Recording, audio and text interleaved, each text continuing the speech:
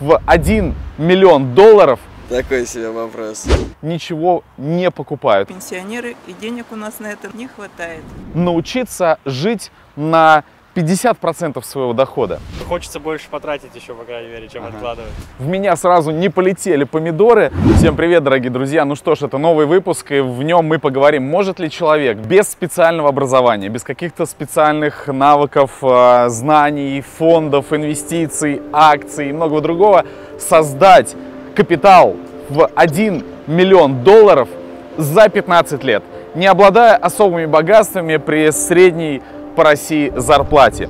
Давайте в этом видео мы об этом поговорим, а в прошлом выпуске я обещал, что расскажу про свою стратегию инвестиций, как я собираюсь это сделать, а я собираюсь это сделать, и причем очень даже простым способом. Я вам обещал, что поделюсь информацией об этом, и вот этот выпуск настал. И на самом деле все окажется намного проще, чем вы думали. Поэтому погнали! Ну, а для тех, кто не хочет ждать, чтобы об этом узнать и смотреть весь выпуск, вы можете переходить сразу по ссылке в описании, и там вы попадете на вебинар, где вам расскажут, как накопить миллион долларов за 15 лет. Ну, а начать я бы хотел сначала с того, что Однажды одна американская пара решила провести эксперимент. Просто взять и прожить один год без денег. Реально это или нет. У них был дом, у них был небольшой участок, они там что-то выращивали. Эксперимент заключался в том, что они ничего не покупают. Они ездят на работу на велосипедах, все, чем они питаются, они выращивают сами. И, по сути, у них нет необходимости что-то приобретать. Одежда у них уже была, гаджеты, телефоны, все, что необходимо у них уже было. И они справились с этим экспериментом. Естественно, они не загнали себя в эту яму и не стали так жить всю жизнь, потому что это эксперимент, потому что ну, нет смысла так жить всю жизнь. Ну это ж, мы понимаем, это глупо. Мы ж не настолько дауншифтеры, точнее они. И они сказали, что на них это повлияло очень сильно. Во-первых, они избавились от лишнего хлама прежде всего в голове. То есть они поняли, что в жизни они покупают слишком много лишнего.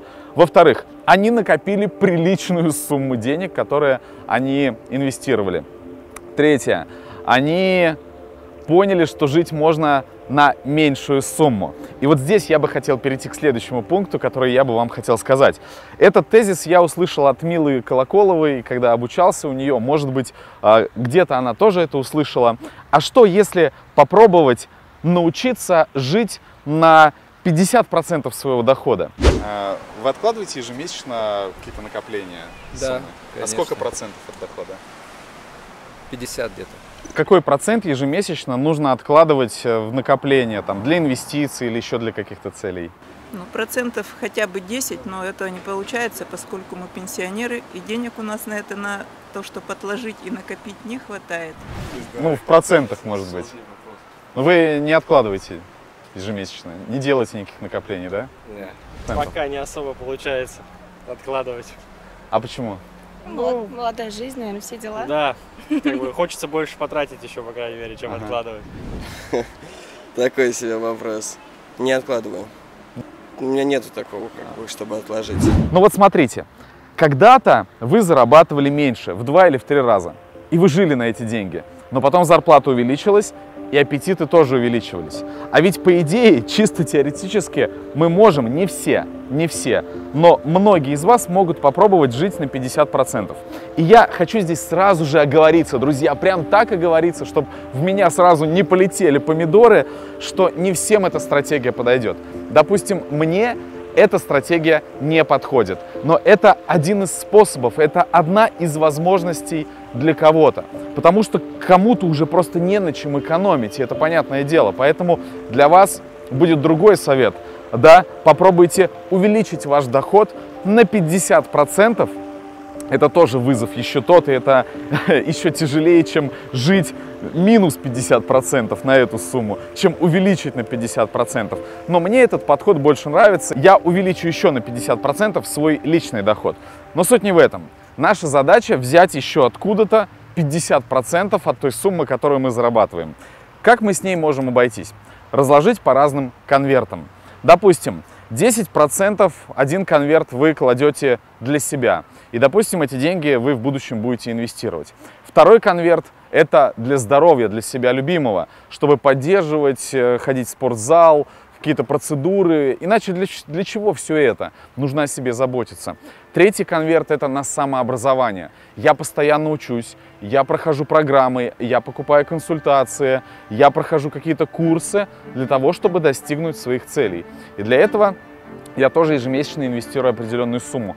Также туда входит путешествия и также туда входят деньги, которые мы э, вкладываем, так сказать, в семью. А, ну там есть еще благотворительность. В общем, 5 конвертов.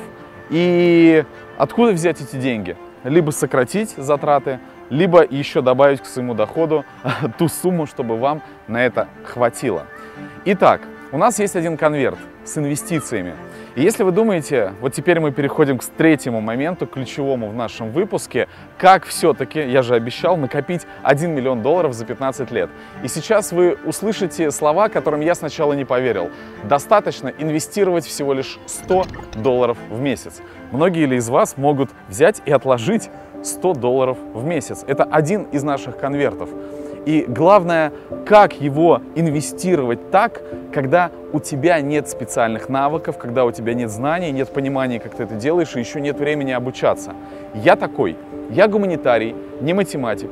У меня нет терпения для того, чтобы разбираться в этом всем. Мне реально тяжело даются цифры, графики, фонды. И я пытаюсь, но мне тяжело. Но у меня мозг, он просто вот, ну, плохо он считает.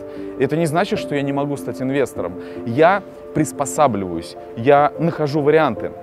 Помните, у нас в школе был такой урок ТРИС, теория решения изобретательских задач. Вот перед вами задача, как, не разбираясь в финансах, в акциях, в инвестициях, стать инвестором. Какие есть варианты, а если творчески подумать, а если набросать варианты, а если что-то попробовать. И один из вариантов, который я нашел, это просто повторять за человеком, который это уже делает. Представляете?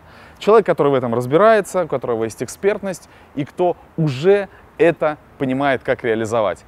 Просто повторять за ним. Вот он сказал, вкладываем сегодня сюда, э, переводим деньги сюда, перевкладываем сюда. И все, я делаю и повторяю за ним. В прошлом выпуске я сказал, что я скачал приложение, сейчас я пользуюсь приложением ВТБ Инвестиции, а, кидаю туда раз в месяц 100 долларов, а, и моя стратегия очень проста. Я повторяю за Максимом Петровым, именно такого наставника в инвестициях на данный момент жизни я для себя выбрал. И а, у него есть такая программа 1 миллион долларов за 15 лет, где он наглядно показывает и обосновывает, как этот результат будет достигнут. Как будет достигаться этот результат? Во-первых, за счет сложного процента. Мы те деньги, дивиденды, которые мы получаем от прибыли с акций, мы их реинвестируем, мы снова отправляем и то есть у нас проценты накапливаются уже на проценты. Плюс мы ежемесячно добавляем 100 долларов. И есть определенные финансовые рычаги и инструменты. Рынок растет, но не весь. Вот если вы сейчас посмотрите на слайд на этом экране, который многим может показаться сложным, но на этом слайде видно, что две трети времени рынок растет рынок основных инструментов, куда инвестируют деньги. И вы можете увидеть, что за последние, например, 15 лет а, что бы ни говорили про, про доллар, он вырос на 115%. Также есть индекс роста недвижимости, есть общий рост рынка ММВБ и так далее. И на самом деле рынок за это время, за последние 15 лет, вырос на 700%. Разбираясь и понимая эти финансовые инструменты, а я их не понимаю до конца. Возможно, пойму, буду изучать, но я же хочу начать инвестировать уже сегодня. Понимая, как работают эти рынки, можно а, умело распоряжаться этими деньгами, достигая определенную процент, покрывая инфляцию, чтобы еще сверху было что-то, реинвестируя эти деньги за 15 лет у тебя образуется 1 миллион долларов. Если хотите узнать, как это будет происходить подробно, просто придите на бесплатный вебинар, зарегистрируйтесь и послушайте, когда специалист вам скажет нормальным языком. Я так передать честно не могу. Я пользователь, мне интересно, я иду финансовым путем и ищу для себя варианты, как это сделать лично мне. Попробуйте и вы. Итак, давайте подведем итог этого выпуска. Либо можно научиться жить на 50% своего дохода, либо попробовать увеличить доход на 50%. Откладывать деньги ежемесячно в разные конверты на свои цели. Третье, 100 долларов может отложить практически каждый. Может быть, вы сами разбираетесь в инвестициях. Я, кстати, в прошлом выпуске давал ссылки на бесплатные курсы от банков, которые обучают азам инвестирования. Кому-то этот способ подойдет. Инструментов множество. Главное начать делать хоть что-то. И, кстати, в прошлом выпуске я и говорил, что я уже начал делать, что предпринял. Кому-то, возможно, подойдет такой формат а, просто повторять за кем-то. Это уже все индивидуально, друзья. Итак, если вам понравилось, то ставим лайк, а, напишите в комментариях, как вам выпуск и подписывайтесь на мой канал. С вами был Павел Багрянцев. И обязательно посмотрите мои предыдущие выпуски про финансы, потому что там было тоже очень много полезной информации. Всем пока и до новых встреч.